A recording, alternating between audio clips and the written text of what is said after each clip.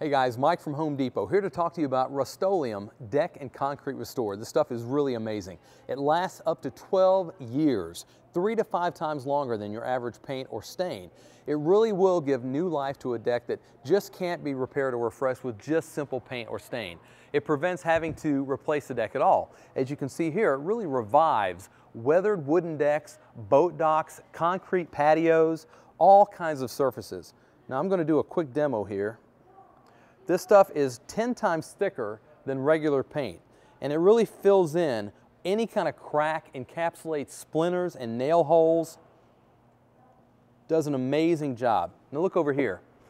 It ends up with this beautiful non-slip coating that is just incredible. It's also tintable. You can get it in 60 different colors and it's durable. Check this out.